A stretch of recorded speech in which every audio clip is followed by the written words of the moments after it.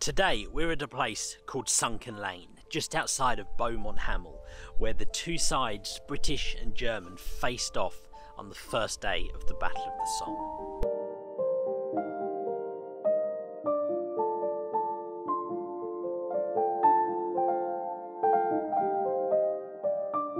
The German front line came down from Serre, where we were in the previous video that I did about Horace Iles, and came down past the front here of Beaumont Hamel and then bulged out up here at Hawthorn Ridge.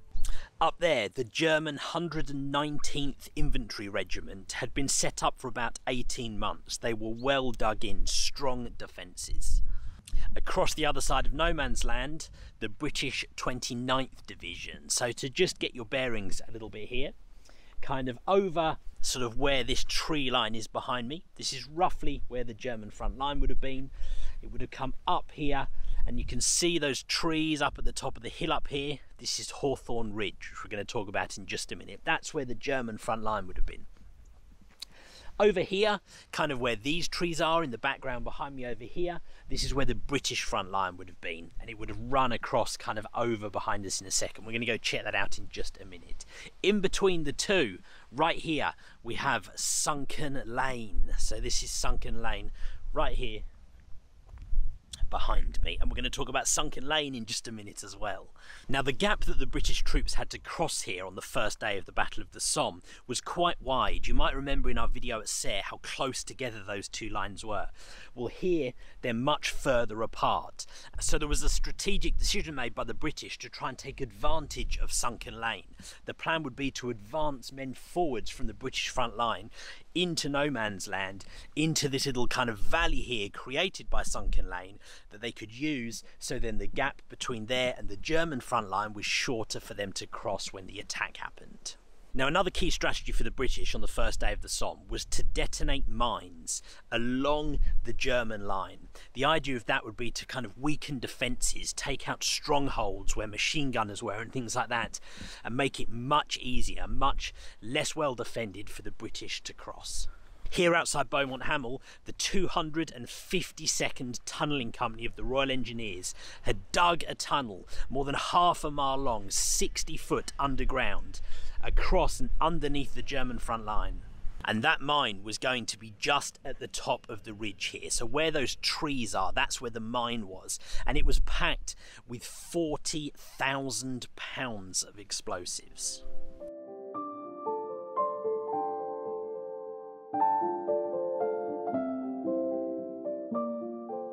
The British general overseeing the attack here, general by the name of Sir Aylmer Hunter Weston, he wanted the mine to be set off um, quite a bit before the British attack, and he requested for it to be set off four hours before the attack. That request was denied because all mines were to be set off just before the British attack. The plan would be literally a couple of minutes before the attack, the mines would go off, and then the British could attack across no man's land. In the end, the Hawthorn Ridge mine here was set off to go 10 minutes before the British would attack. Now that was going to be a few minutes before other mines along this line were to blow. And that decision, creating just that gap in between the explosion and the British attack, would actually prove to be deadly. And we're going to talk about that in just a little while as well. Now, one of the unique things about the attack here uh, is that it was filmed. The mine explosion at Hawthorn Ridge was filmed. There was some action here in Sunken Lane that was filmed as well. A British cinematographer by the name of Geoffrey Malins was here and filmed those things happen on the first day of the Somme.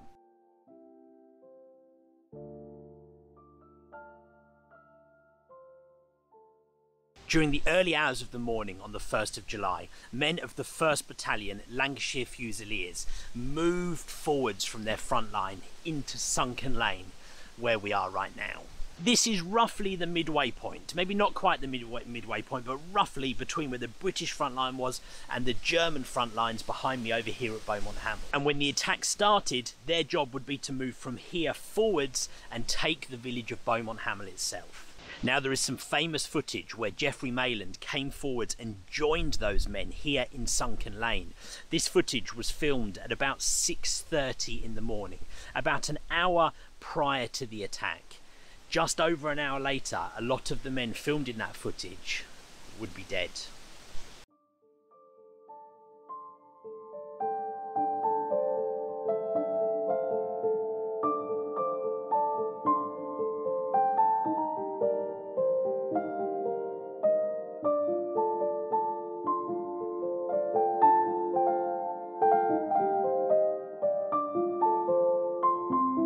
Malins then moved further back in order that he could film the explosion of the mine being detonated. We're going to go head over there right now. Now I've come further back now to not quite to where the British front line would have been. It would have been slightly further back from where I am, but but nearly to where it would have been. And somewhere around here, or at least in this area, is where Geoffrey Malins would have filmed that famous footage of the mine exploding. That would have been just where these trees are up here. Those trees are actually now growing in the crater that has been left by that mine. And we're going to go check that out in just one minute. The mine was blown at 7.20am and men of the 2nd Battalion left their trenches over here, advancing across no man's land to take the ridge. So the mine blew and make no mistake, it had some effect. You can see behind me here the crater and look how enormous this is. Now I don't know if the camera is quite picking up how big it is, but to give you an idea, I mean, we're talking at least 30, 40 feet deep here, I would say, and huge. 200 yards across, maybe. Now, the problem was this mine blew at 7.20. The British were going to attack, the men of the 2nd Battalion would attack from their trenches over there across no man's land to take this area. But that 10 minutes proved fatal because whilst a lot of the Germans here were killed, not all of them were, and it enabled men who had survived here and men from the reserve trench behind to move forwards and take the crest of this crater here and repel the attack from the 2nd Battalion. Ultimately, despite valiant efforts here, the attack was quickly repelled, and by 7.30, only 10 minutes later, the Germans were able to be setting up machine guns here along this ridge. Now that would prove fatal because what you can see from here is the view that the German soldiers here would have had across no man's land, sunken lane, no man's land, and then the German front line over there. It would only be a minute or two before the men of the Lancashire Fusiliers left sunken lane to advance across this open space over the watchful eye of the German machine gunners right here.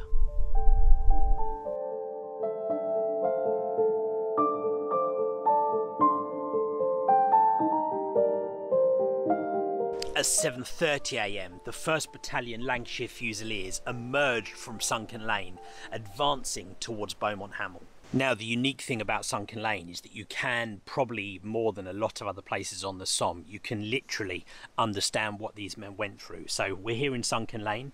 They would have to advance forwards out of the lane,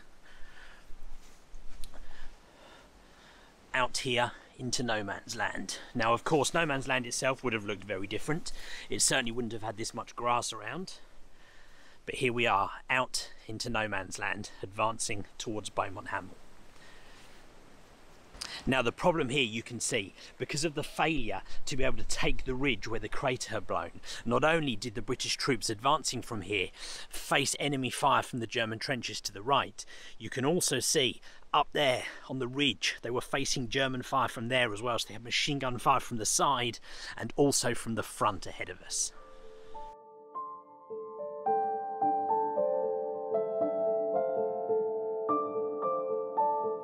The men here were just getting cut down, and those who hadn't been killed had to start retreating back into Sunken Lane, which at this stage was becoming full of dead and wounded men. By lunchtime here, the fight over just this short piece of ground uh, was com complete. It had been completely repelled, with the British retreating back to their own front line. The Lancashire Fusiliers had lost 163 men, with a further 312 wounded. And this stretch of the Somme was another example of just absolute failure, absolute tragedy. Despite the, the, bravery of these men to advance across this open ground with machine gun fire ahead of them, machine gun fire to the right, they weren't successful. And it's another example of the tragedy here on the first day of the Somme.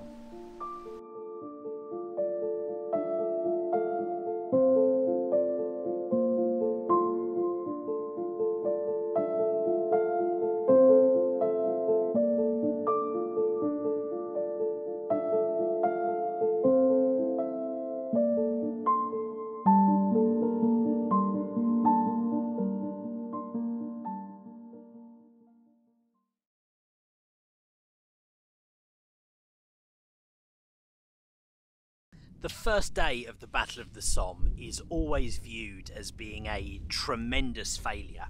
And, and frankly, it, it was. the, the, the tremendous loss of life is, is just unthinkable. But there were some sections of the British front where, on the first day of the Somme, there was success. And we're in one of those places today.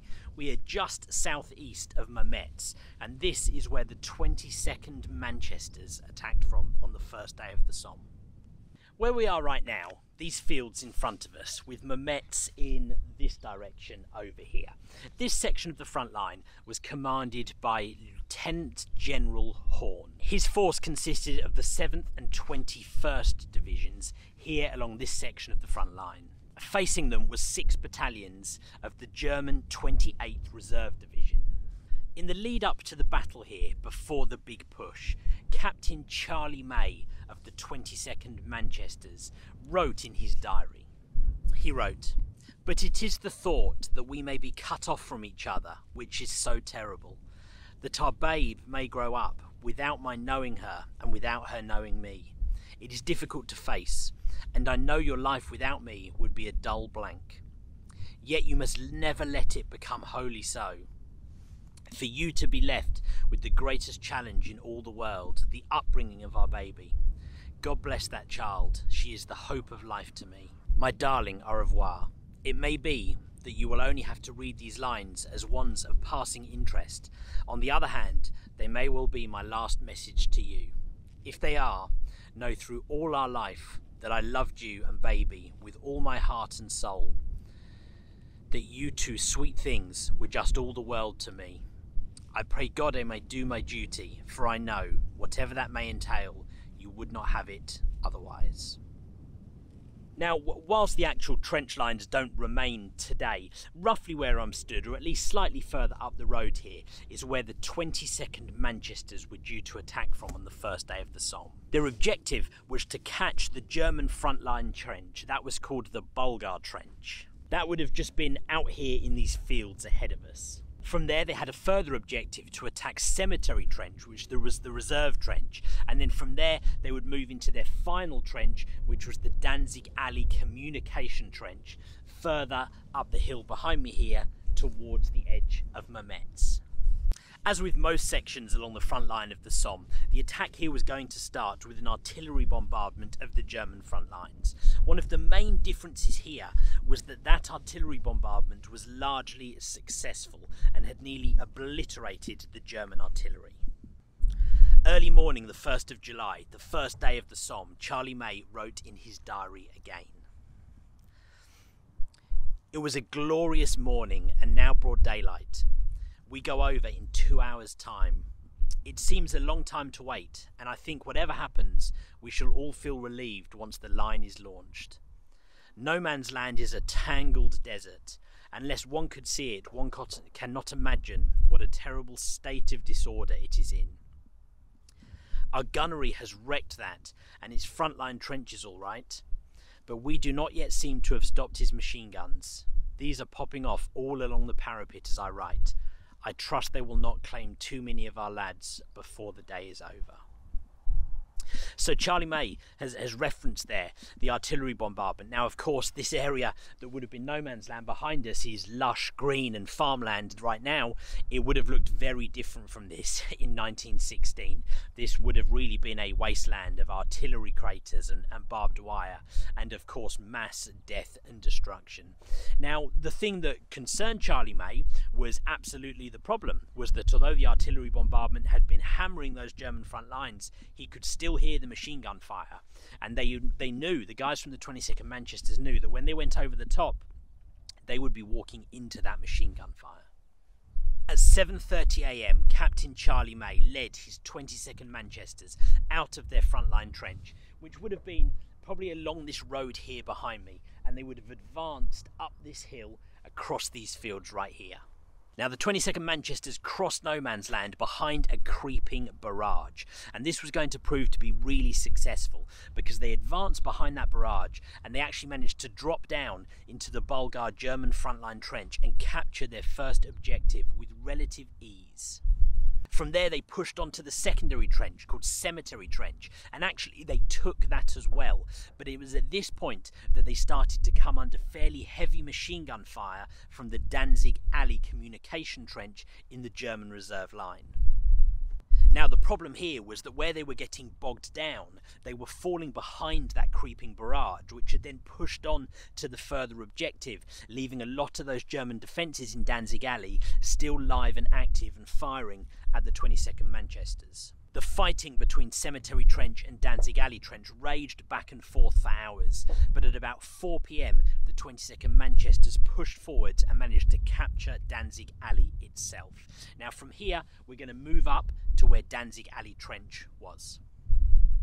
So I've just moved up um, to the other side of those fields now. Now, where we were was across these fields here behind me. You can kind of see sort of in the distance there's a barn. Well that's roughly where we were a little bit past that. So that is where the 22nd manchester's attacked from and this is where they took their final objective at danzig alley.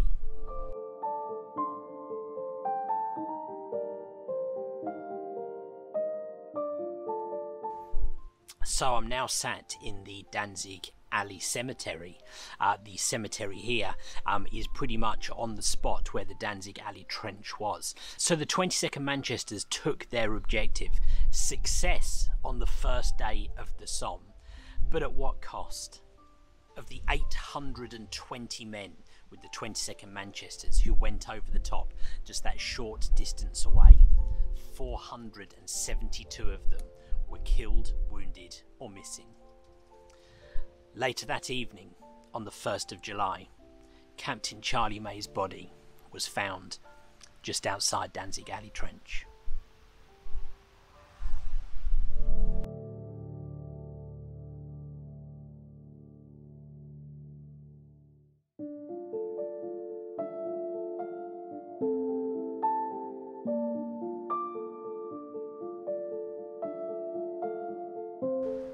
We are in Danzig Alley Cemetery, the final resting place of Captain Charlie May.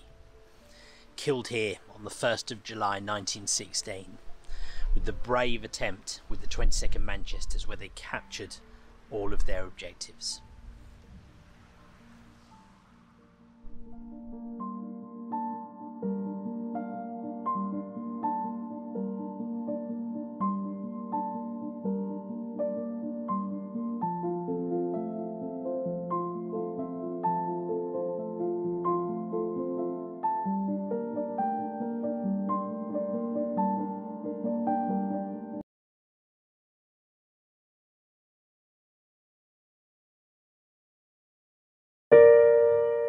Today we're outside Serre in northern France, a place that saw uh, some tremendous fighting on the first day of the Battle of the Somme.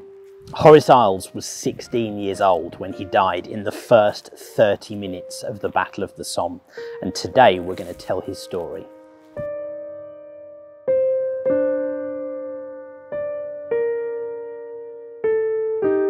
Private Horace Iles was only 14 years old when the First World War broke out in 1914, and he lied about his age so that he could join the Leeds Pals. Became part of the 31st Division, along with two Bradford Pals battalions, the 15th Battalion West Yorkshire Regiment. Horace and his Leeds pals arrived at the Somme in 1916, and on the 22nd of May he was wounded in the trenches, and he was given seven days leave when he went home. That was going to be the last time his family saw him. When he was home, Horace's family tried hard to convince him to tell the authorities his real age, knowing that they would have to then send him home. But Horace didn't want to let down his friends. He didn't want to let down his Leeds pals. And so he returned here to the front just in time for the big push of the Somme. For the Leeds pals, the Battle of the Somme would start here at Serre.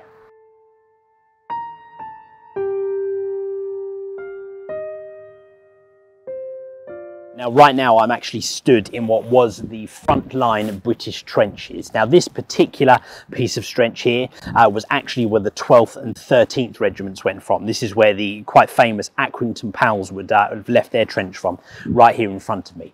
Horace actually left his trench with the lead pals further down to my right-hand side, so slightly kind of almost south, uh, sort of west from where we are right now. And we'll walk down there in just a minute. But their objective was to capture the hilltop fortress of Serre now you can see out here behind me, this ridge here and going up this hill was towards Serre. Okay, so we've walked a little bit up, um, further to the right-hand side of where we were.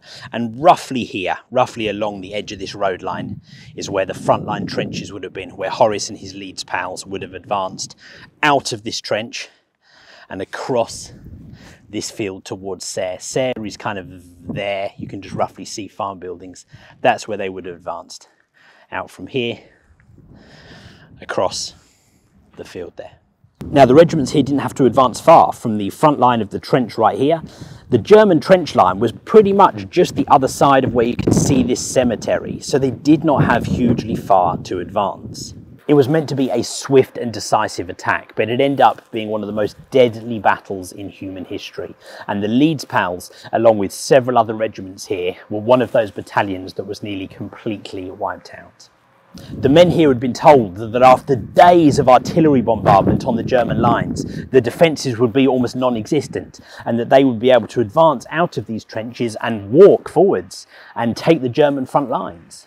But in reality, the Germans had been hidden deep down in, in deep dugouts and had avoided that artillery bombardment. As soon as it stopped, they came out, manned their machine guns, and manned their defences.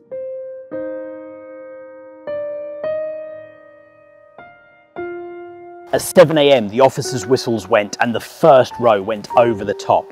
The Accrington Pals went first from these trenches right here, heading out towards Serre. They were cut to pieces. At 7.20, the whistles went once more, and Horace and his Leeds pals left their trenches from over here to our right-hand side, advancing towards Serre facing machine gun fire, mortar fire, artillery bombardment. Men were just getting cut down left, right and centre. Some hit as soon as they left their frontline trenches.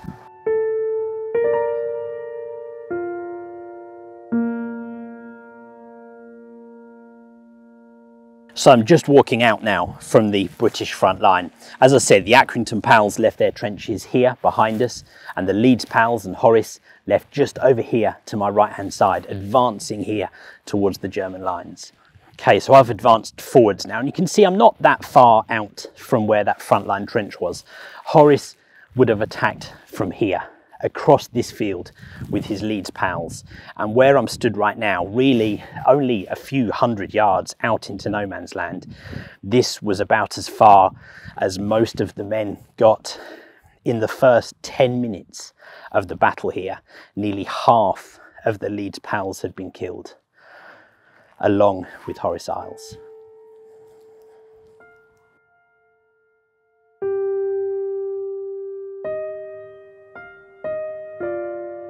At the end of that terrible day, only 47 of the 650 Leeds pals that went over the top had survived, the rest either wounded, killed or missing.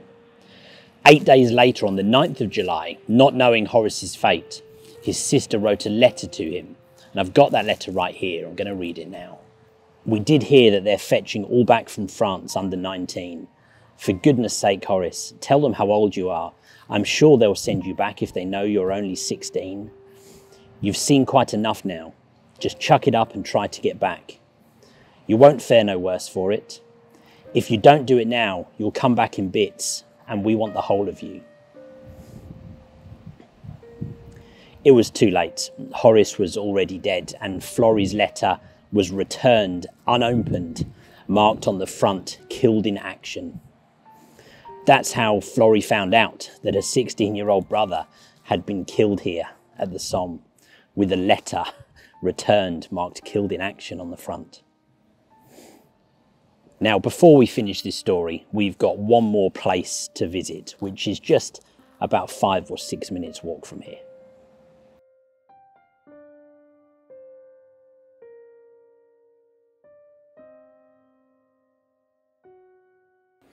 So here we are at the Serre number one cemetery, the final resting place of Private Horace Iles. Now there's there's an awful lot of men in this cemetery who, who were killed in the Great War, but it doesn't feel right calling Horace Iles a man. It's, this this was a boy, a, a child who was killed in, in the horrors of this war, and it just shows you the the, the tragedy of what went on here.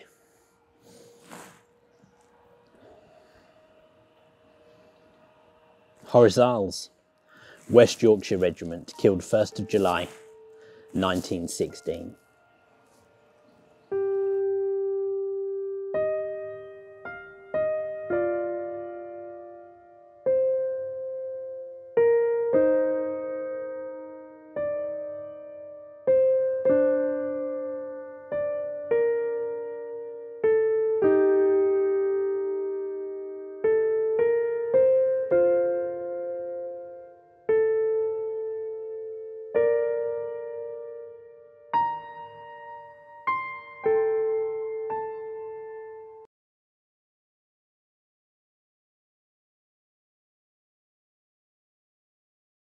Cyril Jose was 16 years old when he attacked here at Ovillers with the 2nd Devons on the first day of the Battle of the Somme.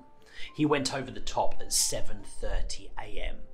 By 7:35 a.m. he was laying wounded in no man's land just here. But his story didn't end there, and we're going to tell that story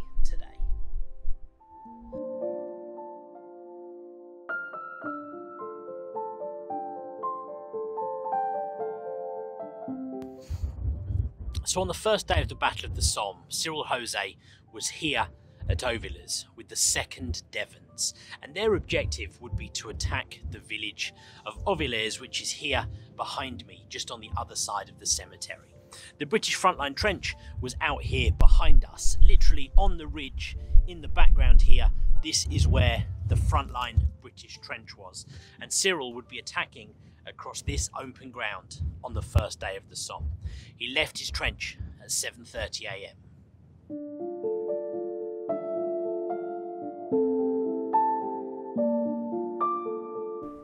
Now, Cyril Jose has recorded his story since the Great War, and we're lucky to have some of that written down. And I'm going to share his account of initially going over the top right now. So here's what Cyril had to say. We went over the top at 7:30 a.m. The first wave of troops. The German infantry occupied deep dugouts and had survived the devastation wrought by our artillery. At that distance, we had no possible chance of surprising them. They simply cut us down with their rifle and machine gun fire. Their artillery had already set a barrage across no man's land. Men went down like corn before a scythe. So, despite the machine gun fire and artillery against the 2nd Devons, Cyril bravely marched across no man's land in this vast open space behind me. He got nearly to the German barbed wire, just in front of the German trench, which would have been just about level with this wall on the edge of the cemetery here behind me. Let's listen to his story of what happened next. We were a sorry remnant that reached the Jerry barbed wire a special 24 hour trench mortar bombardment on the wire entanglements had only succeeded in making a few gaps. Naturally, Jerry had his machine guns and rifles trained on these. Down went Second Lieutenant Gould.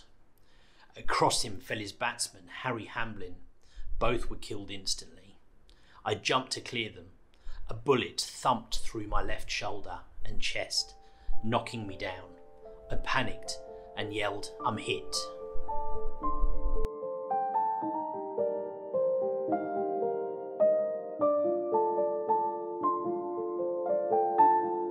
So Cyril lay injured in no man's land, along with thousands of other men.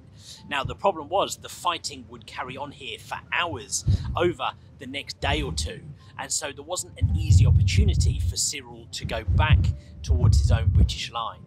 Now, luckily, whilst he was injured, he was still able to move, so he had to lay as still as he possibly could here in no man's land, waiting for the opportunity to try and get back to the British lines.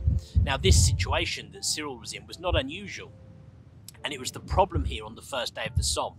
Lots of men lay wounded and bleeding in no man's land and then died from wounds that they maybe wouldn't have died from were they able to have received treatment earlier.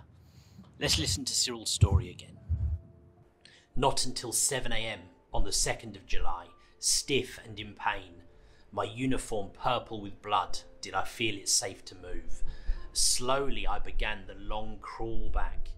The grass was fortunately long. It seemed that I was alone in a field of dead men.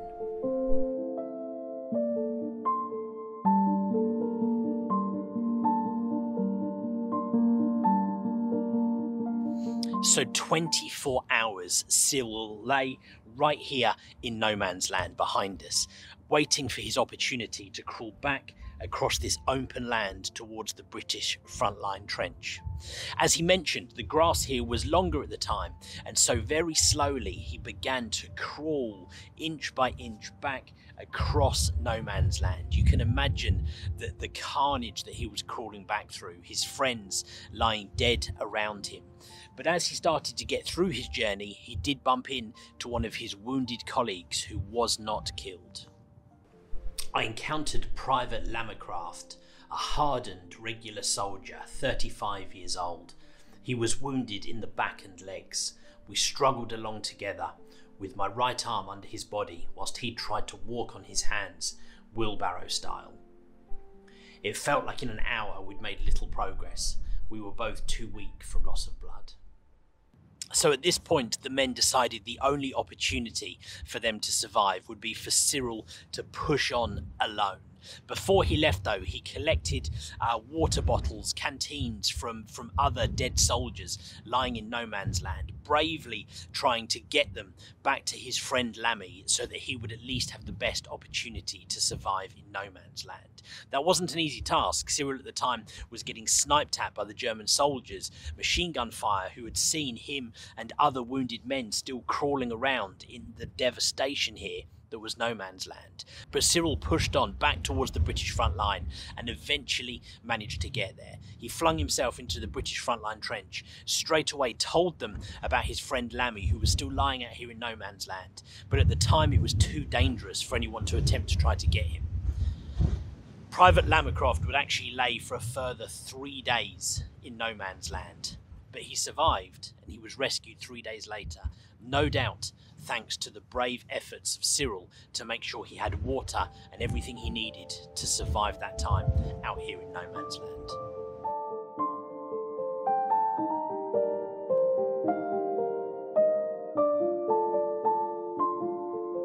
Despite the wounds that Cyril suffered here on the first day of the Battle of the Somme, he survived. He would return to the front line after spending time in hospital in 1917 and would fight through the rest of the war but he returned home to the West Country where he married a lady called Dorothy. He went on to have two children. By the time he died in 1984, he was 84 years old. He had two children, four grandchildren, and seven great grandchildren.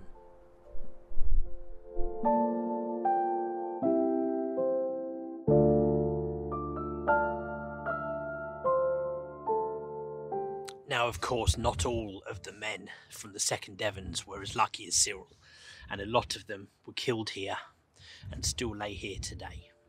For example, W.H. Strawbridge of the Devonshire Regiment, killed here 1st of July 1916, aged 21 years old. There's many men of the Devonshire Regiment here in the Ovillers Military Cemetery. A lot of those are are unknown soldiers. So there are graves here, um, you know, from the Devonshire Regiment, but marked as unknown soldiers. So probably from from where they recovered the bodies from, they knew where certain units had attacked from, so they knew they would have been a member of the Devonshires. Um, but unfortunately, they weren't able to identify them. Now, there's other men here who, who are named again. So, for example, we have here F.T. Oden. I hope I pronounced that correctly the Devonshire Regiment, killed here 1st of July 1916, 20 years old.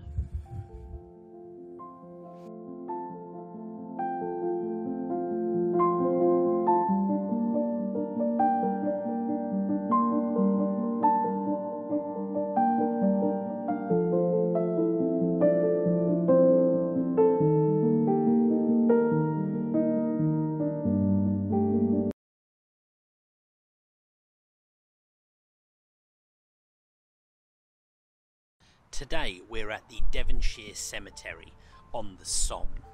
And this is where the 9th Devons would attack towards Mametz on the first day of the Battle of the Somme.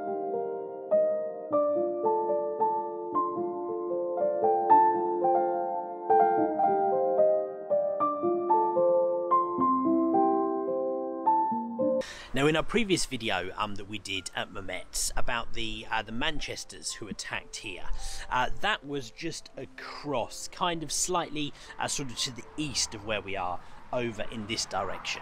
And the front front line ran literally across these fields here and then over to this area here where we are right now. And this cemetery is where the Devonshire's frontline trench would have been, and we will talk about that in just a little bit. And this line of trees that kind of comes along in an L shape across here and then down here towards us, this area here was called Mansel Copse. Now, across in front of us here, in what would have been no man's land, there is a big dip, also known as the Carnoy Valley, and that ran across to where the German front line was. So the German front line would have been across on the other side of the dip, and we're going to have a look at that in just a minute, and would run across and up the hill here towards Mametz. So a key feature of the land here is that in between here, the front line trench where the Devons attacked from, and the German front line trench, is there was a big valley and a big dip that the British troops here would have to cross in the attack on the first day of the Somme.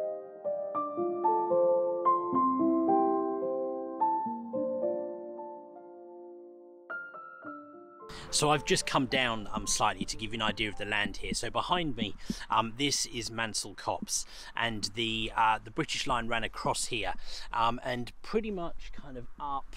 Uh, I don't know if you guys can see that building, like over in this direction. We're just over kind of here. That's where we were when we talked about the Manchester's attack here at Mametz, and the German front line ran across over here, just on the other side of this valley here.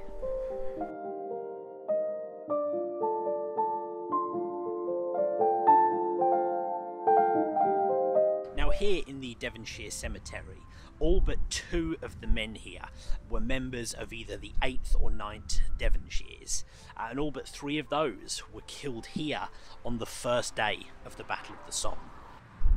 One of the 163 men buried here is Captain Duncan Martin.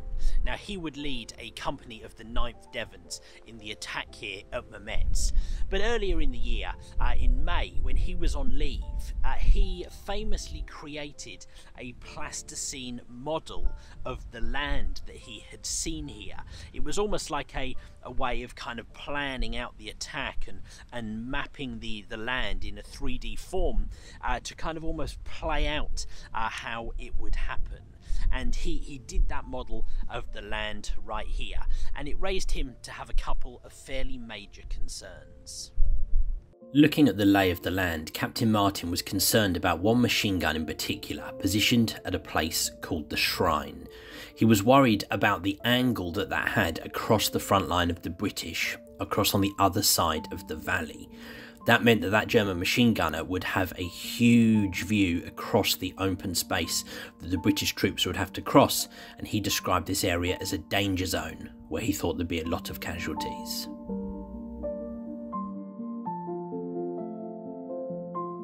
So we've stepped forwards now just beyond Mansel Copse. This is Mansel Copse behind me.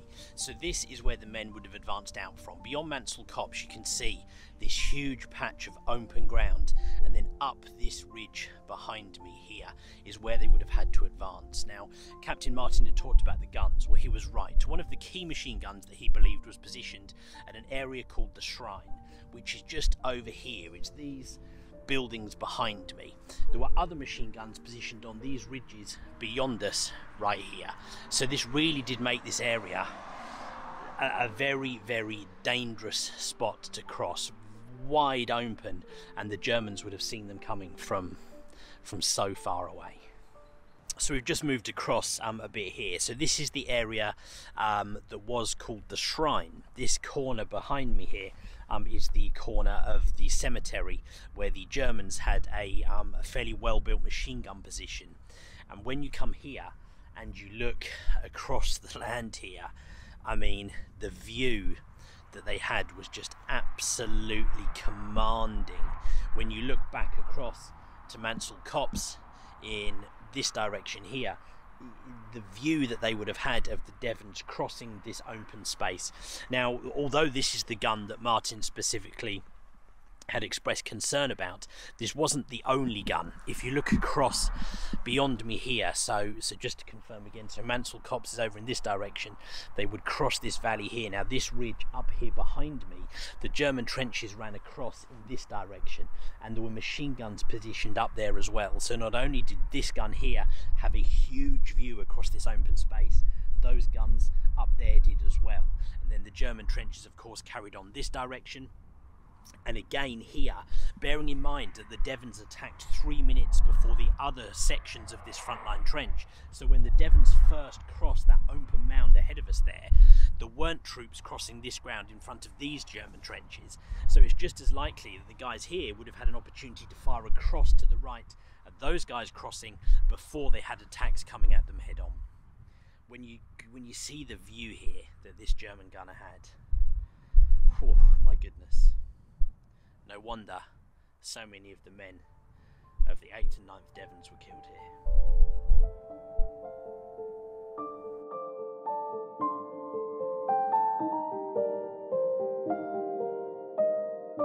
Now, this area here being such a prominent section uh, of the British frontline trench, it meant that the Germans quite frequently um, put down artillery fire on this area. So prior to the Battle of the Somme on the first day, uh, the order was actually made for the Devons to leave this frontline trench and move into their reserve trench a little bit further back across the field.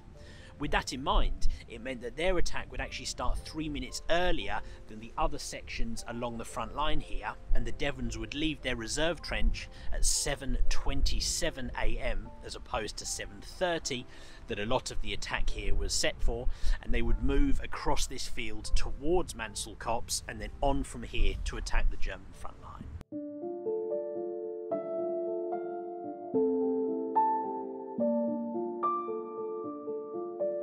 So we just come a little further back and it's, it's very windy, so I hope you guys can hear me okay. But the other side of this field behind me is where that where that reserve trench was. So that meant that the men who left that trench at 727 had to cross this field and this land behind me over the top of this mound right here and you can see from where we are and hence the wind that's up here we are so exposed the German front lines in this direction would have had a clean look at these guys. Once they got to the top of this mound, the German front lines in this direction would have been able to see these guys. And the problem was that hundreds of these men were hit and killed uh, or wounded before they had even got back as far as their own front line at Mansel Copse. And one of the men killed in this area here was Captain Martin maybe killed by machine gun fire just as he'd predicted, or maybe killed by rifle fire from one of the other trenches either ahead of him or to his right. But he was killed just here before he even got back as far as his own frontline trench.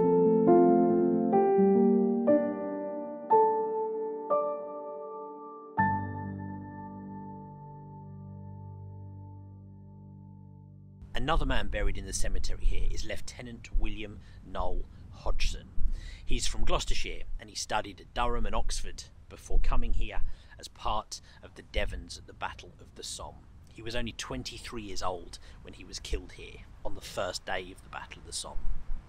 Hodgson was a writer and a poet, and quite famously on the 30th of June 1916, he wrote a poem called Before Action. Now, it's widely believed that that poem uh, was almost written as a premonition of his death, and I'm going to read an excerpt of that poem now.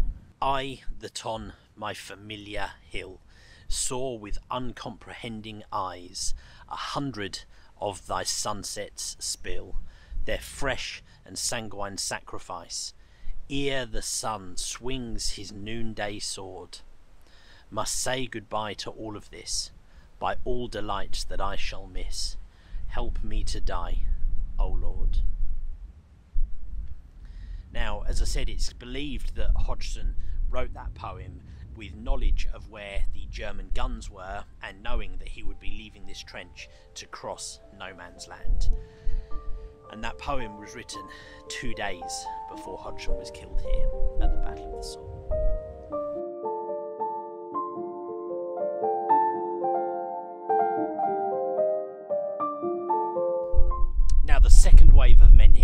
Included Lieutenant Hodgson.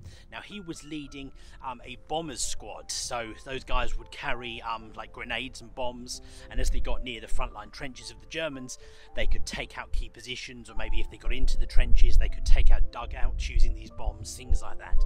Well, he advanced forwards, he did get back to their original front line and pushed on from there. So Lieutenant Hodgson got beyond Mansel Copse, and it's believed he only got a short way across this open patch of land here before he was shot in the neck and he died. He was killed somewhere in this area just beyond Mansel Copse, only a few minutes into the attack here at the Somme.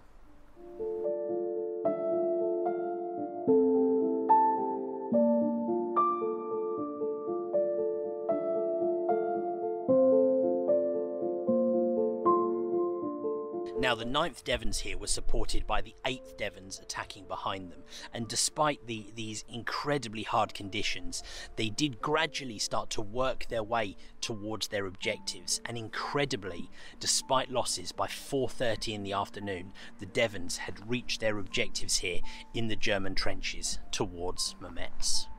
The 8th and 9th Devons who attacked here, mostly volunteers, went into battle with more than 1,500 men on the first day of the Somme. By the end of that first day, more than 400 of them were wounded, 62 were missing, and 236 of them were dead. Three days after the attack, Reverend Ernest Cross organised a group of stretcher bearers to move out here into no man's land to collect the casualties, um, the bodies of those who had been killed. Now, of course, quite often um, in, in, battle, men were buried uh, right near where that attack happened, often in places like shell holes or areas just behind the front line. And uh, Reverend Cross uh, brought those men um, here to the frontline trench um, that they had been in and the trenches that they had attacked from across no man's land on the first day of that Somme. And he buried those men here in that trench, and that's where they lie in these graves behind me today.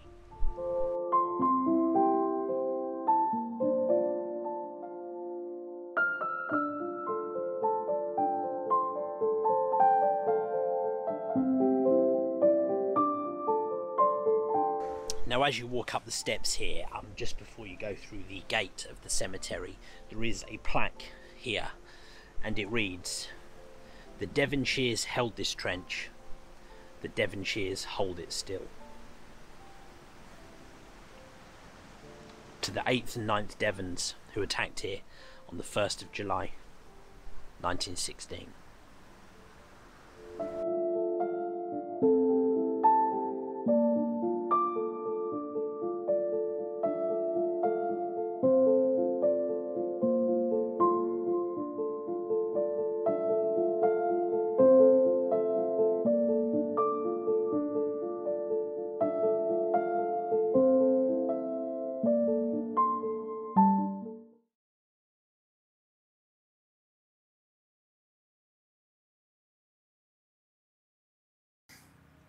Today we're at the Thiepval Memorial here on the Somme, and the memorial here has engraved the names of more than 72,000 men who were lost in the battles here in the Somme area between July 1915 and March 1918. The Commonwealth War Graves Commission states that 90% of the men who are named on this memorial were killed in the first Battle of the Somme from the 1st of July to the 18th of November 1916. And the special thing about the memorial here is that it is reserved for those who are missing or unidentified and whose bodies were never recovered. They have no known grave, who were lost here in the Somme region during the Great War.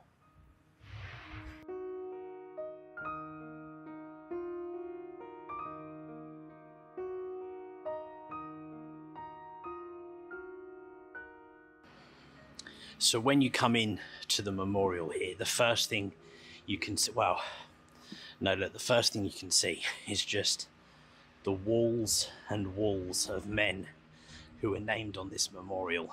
And it, it, really it really hits you hard when you walk in here. I mean, I was at the Menin Gate Memorial actually just yesterday, and you get a feeling there, but you you really get a feeling here, and I think some of this video might be quite hard to make, but I'm going to try and do the best I can to honour the guys here. So the first thing you see is up on the, the top inscription, kind of up high, and I'll, I'll give you guys a close-in shot of it so you can see. Um, it says, here are recorded the names of officers and men of the British armies who fell on the Somme battlefields July 1915 to February 1918, but to whom the fortune of war denied the known and honoured burial given to their comrades in death. So that's what this memorial is about, right? Go people who had no known grave, who were lost at battle, or maybe whose bodies were recovered but weren't identified, in which case they would lay in many of the cemeteries around this area uh, marked as an unknown soldier. For all of those unknown soldiers' graves in the cemeteries around the Somme here, their name will appear here on this memorial. Now, when you walk around here, um, this memorial has 16 uh, wreaths on each of the pillars, uh, and those are the names of the various battles that made up the battles of the Somme. And so, for example, I can see up here we have Somme 1916, so that is the first Battle of the Somme. Uh, we have the Battle of Albert, uh, the Battle of Pozières Wood, uh, the Battle of Thiepval Ridge just near here, uh, and all the different battles that make up the battles of the Somme.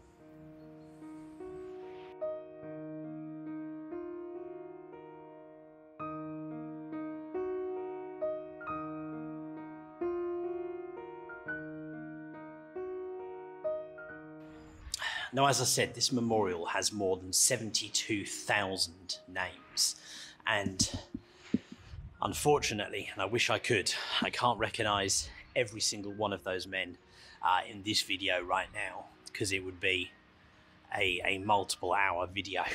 Um, but what I can do is recognize a few of them. Uh, you know, I'm going to read a few of the names right now. We have men here on the memorial like GM Benbow, GF Black, JH Blaver or Blaver, E.V. Bolton, and many, many more on this memorial. And I've looked into the story of a few of the men here, and I'm going to tell you a little bit more about some of the guys that we have here on this memorial at Thiepval.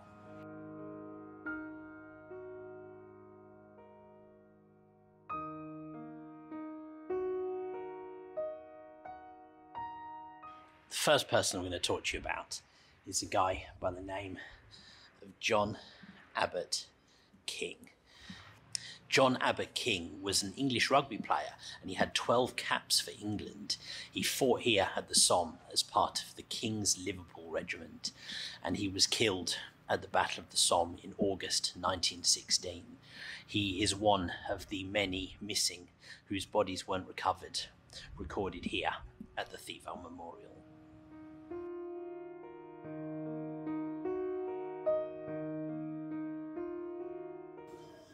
So the next person we're going to talk about is Eric Norman Franklin Bell. And you'll notice that he has a VC next to his name here on the memorial. And that designates that he is a winner of the Victoria Cross. Captain Eric Norman Franklin Bell was a member of the Inniskilling Fusiliers, and on the opening day of the Battle of the Somme here, uh, his unit was attacking a German machine gun position uh, not far from here at Thiepval. During that attack, he crept forwards uh, and single handedly, with a grenade, took out that German machine gun position so that his troops could advance. From there, he went on with a further three acts of similar bravery during that attack until he was sadly killed. Unfortunately, his body wasn't recovered, and he is remembered here on the Thiepval Memorial.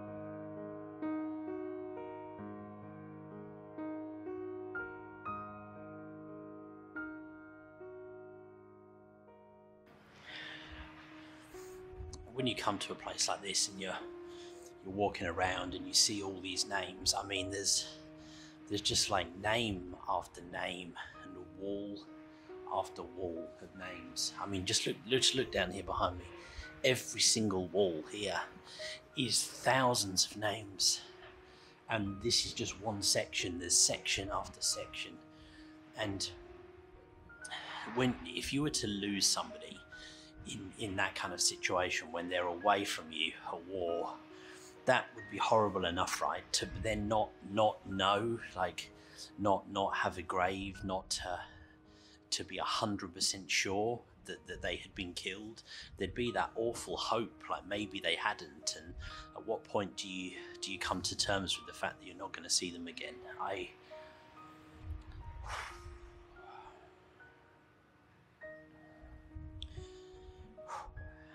yeah, this place.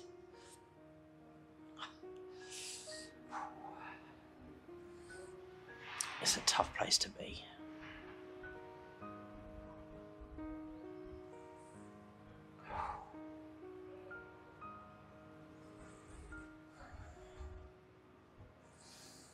Don't know if I can say that I hope you enjoyed this video, but I hope you I hope you found it interesting. I hope you found it useful and that you learned a little bit more about the Thiepval Memorial, like I certainly did today. Thank you for watching.